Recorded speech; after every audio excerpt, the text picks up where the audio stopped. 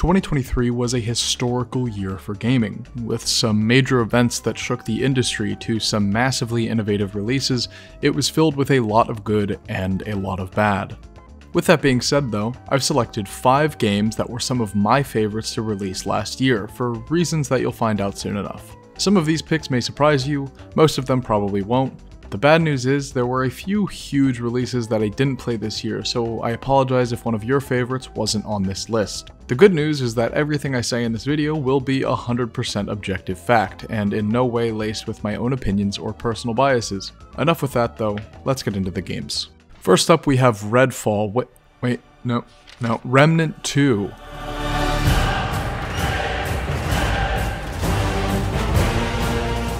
Remnant 2 is a third-person action RPG with a focus on exploration and combat. You'll hear many people write off the series as just Dark Souls with guns, and while yes, it is a Souls-like, and yes, you do have guns, there's a lot more to it than that.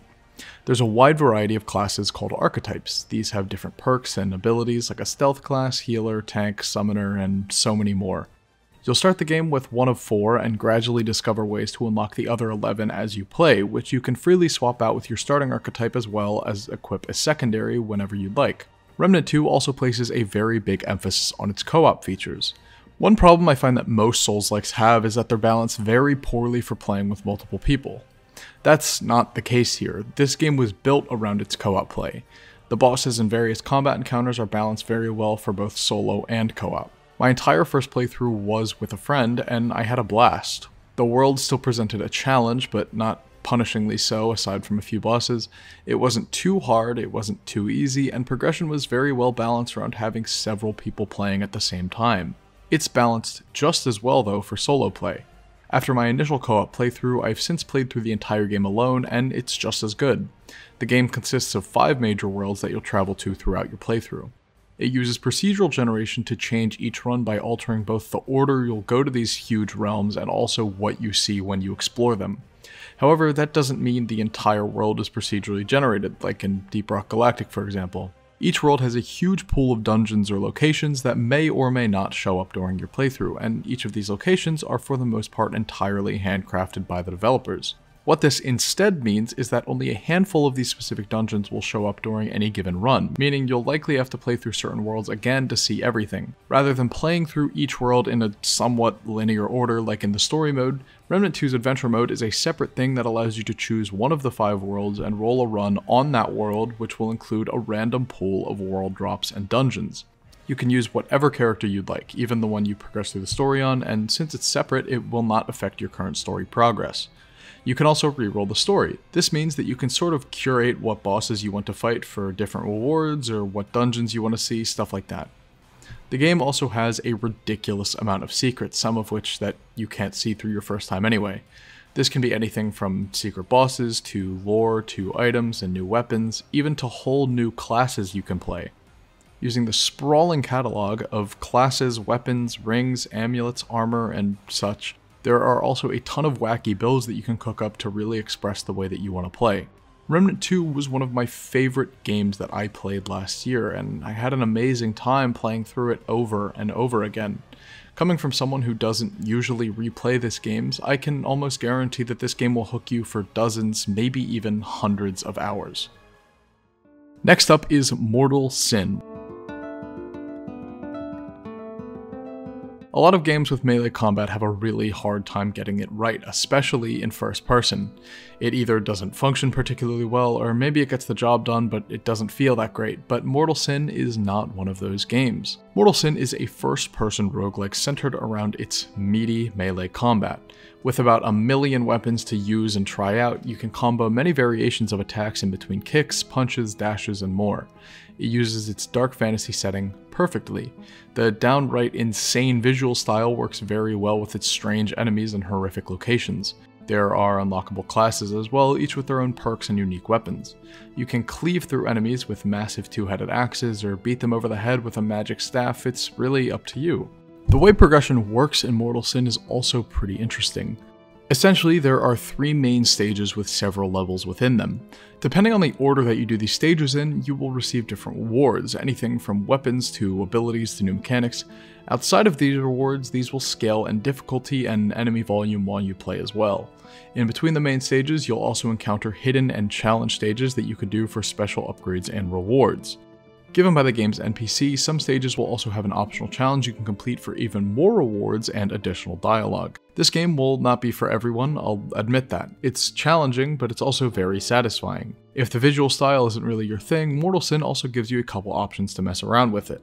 There are several different color palettes you can choose from, which is more for personal preference, but on top of that, you can also change things like the grain, the blending, and more to make it a little bit easier on the eyes.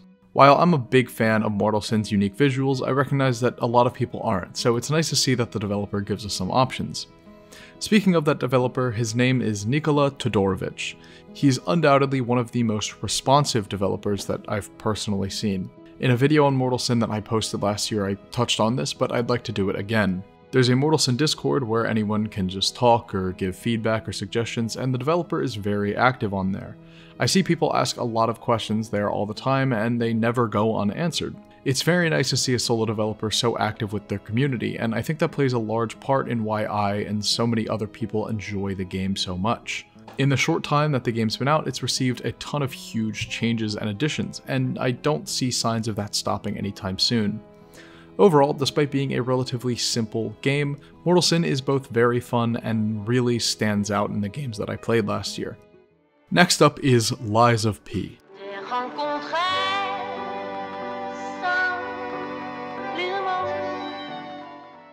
I'm currently working on a more in-depth video on this, so I'm gonna be a little more reserved with this section. But anyways, here we go. Lies of P is one of the two games that I'm still torn between calling my personal game of the year, the other of which we'll discuss in a little bit. This game came out of absolutely nowhere for me, as I feel like it did for a lot of people.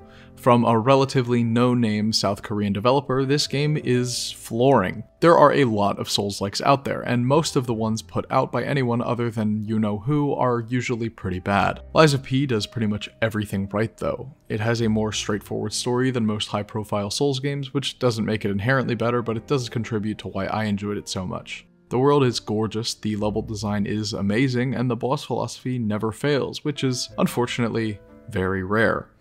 While most Souls games have a decent helping of great bosses, just about all of them also happen to have a good few that are just so terrible. This has the most consistent run of bosses in just about any Souls game. While not all of them are amazing, they are all great and at worst good, except for one.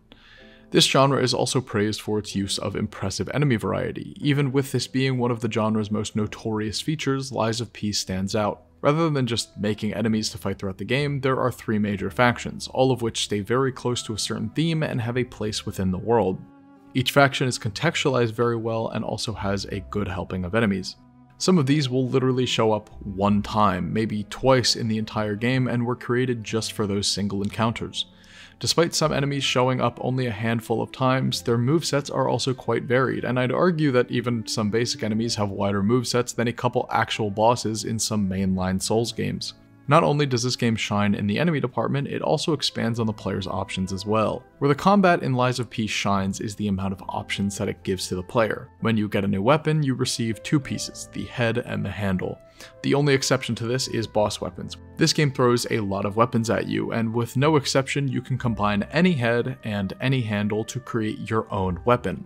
Some obviously work better than others, but the point is you have the option to do whatever you want. This extends into how you respond to enemies attacking you. A big thing in Souls is the whole idea of blocking versus dodging.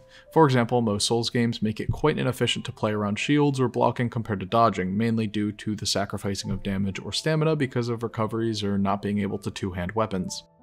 Sekiro changed things up, making it so that the way you beat just about every encounter was by blocking and parrying. Of P makes the very intelligent decision to allow both to be very viable options. Blocking makes you lose some health temporarily, meaning you'll have to attack the target to regain that health.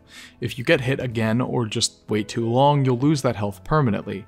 If you block right before an attack will hit you, it will result in a perfect guard, which is this game's version of parrying. Parrying is for players who want to master the game. It's there as a high risk, high reward form of blocking, and if you're really good at it, can even be more effective than dodging. All of these are here to give the player even more choices. It allows you to vary your responses to enemies' attacks in ways that fit your playstyle and level of comfort with the game. I'm not going to go too much longer, but basically, Lies of P is amazing, and you should play it. Another one of my favorites is RoboQuest. RoboQuest is a game that I've been following for quite a long time, deep into its early access journey. Much like Mortal Sin, this game has gone through a ton of changes since I started playing, all of which are definitely for the better. This is another one I've talked about several times, and for good reason. RoboQuest is a blast. It's incredibly fast paced and requires a lot of attention to excel. Using a healthy mixture, Using a healthy mixture of your robot's abilities as well as ranged and melee weapons alike, you will mow through countless hostile bots as you progress through each stage. Combined with its heart-pounding original soundtrack, this creates a thrilling game loop with constant progression through upgrades to your kit and weapons alike. As you gain experience, you'll level up, which gives you the power to augment your abilities. These upgrades and your playstyle will vary greatly depending on which class you choose to play. There are currently six, each of which plays rather differently and allows you to build your character in fun ways that complement how you choose to engage in combat. Boiled down to its most basic level, this game is just plain fun. The systems aren't particularly deep on their own, but with the weapons and classes and progression and whatnot, it all pulls together to create something a bit more complex. Traveling through each stage, you'll be heavily invested in finding all the secrets in each level while also optimizing your run, trying to eliminate all the enemies while blitzing to the finish to get that S rank. Based on the overall grade that you get on each stage, which factors in the time it took you to beat that and the amount of enemies you killed, you'll get a certain amount of wrenches, which serves as the main currency. You can use these at the workshop and base camp to forge new upgrades. This can be new NPCs, a new set of gadgets, weapon quality upgrades, things like that. On each subsequent run, you'll likely be getting further and further, discovering new bosses, new areas, and new secrets. Combined with all the new stuff that you'll be finding in base camp upgrades, this gives a constant progression that really lends to the just one more run feeling that you'll get from playing.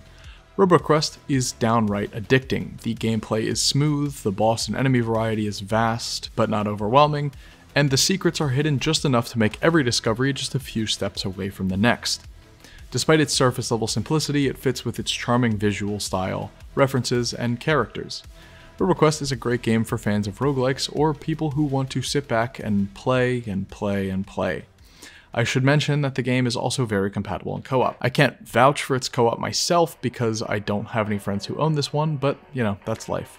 Regardless, it's an amazing time even on your own, so let's give this game the credit it deserves. Finally, we have my other top Game of the Year contender, Alan Wake 2.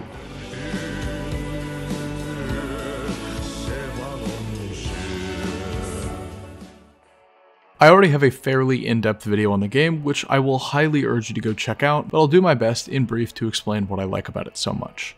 Without a doubt, one of, if not the most immersive games I've ever played, Alan Wake 2 does a fantastic job at contextualizing all of its gameplay elements into its story every single thing that happens and you can do yourself all makes perfect sense within the world, and because of that, you'll often find yourself very invested in its characters and story events. I'm not the biggest fan of the first game, but I do quite enjoy Quantum Break and especially Control, so I was somewhat worried going in, but Remedy just completely nailed it here. Taking all the lessons that they learned from everything between Max Payne and Control, I don't think a developer's design philosophy has changed in such a unique way. With a lot of complex characters all contained to this complex story with a lot of moving parts, it's just fun to piece all of its abstract information together on your own. The game follows Saga Anderson, an FBI agent, and of course Alan Wake.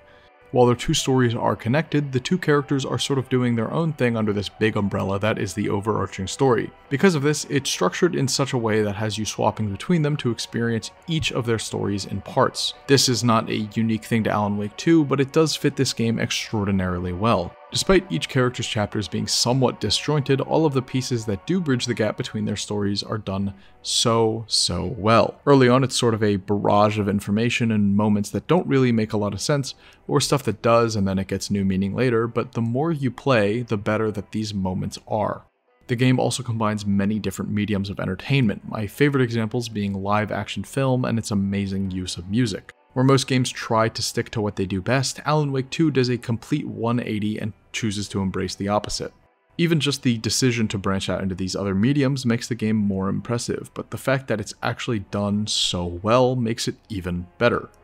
Remedy also expanded greatly on gameplay, further fleshing out the mechanics of the first Alan Wake while introducing so many new ones that makes the game a creative and technical marvel. Most importantly, Alan Wake 2 is clearly a project born from passion. Every element of this game is just oozing with love, from its performances to every detail and every person involved in the project. Alan Wake 2 is simultaneously a game that needs more people to play it and a game that more people themselves need to experience. Before we close this one out, I have a couple of honorable mentions. For Most Improved, we have Cyberpunk 2077 Phantom Liberty. More than just a DLC, Phantom Liberty overhauled just about every major system in Cyberpunk. The bugs have been fixed and the gameplay is better than ever. Give it another chance if you're looking for a good RPG with a great story. For most um, stimulating, Warhammer 40k Boltgun. A great retro FPS with a ton of fun weapons and fantastic level design, this will make your neurons activate without fail. For the highest Risk of Rain award, this goes to Risk of Rain Returns. A lot of people seem to have an aversion to remakes and sometimes sequels being in the Game Awards. Um, personally, I think that's an exceedingly stupid reason to not nominate something, but I piss enough people off already, so that's why this wasn't in the main show. Risk of Rain Returns is a remake of the 2013 classic Risk of Rain. On top of a ton of new content, it's also got a beautiful fresh coat of paint. Lastly, for the honorable mentions is the Most Evil Award, going to Resident Evil 4 Remake. This is another one that, again, was one of my favorite games of the year, but I'm not going to include it because it's a remake. It's no secret that I'm a fan of the series, and this one is no exception. This game is perfect. Uh, that's all I feel the need to say. This one is going to get its own review in the future as well, so I'll leave it at that. In the meantime, check it out. That is just about everything that I have for you guys today. I hope this, I don't know, opened your eyes, I guess. Um, but yeah, if you enjoyed the video, be sure to like and subscribe. Make sure that you also comment what your favorite games were this year. Thank you so much for watching, have a good night, and I'll catch you in the next one.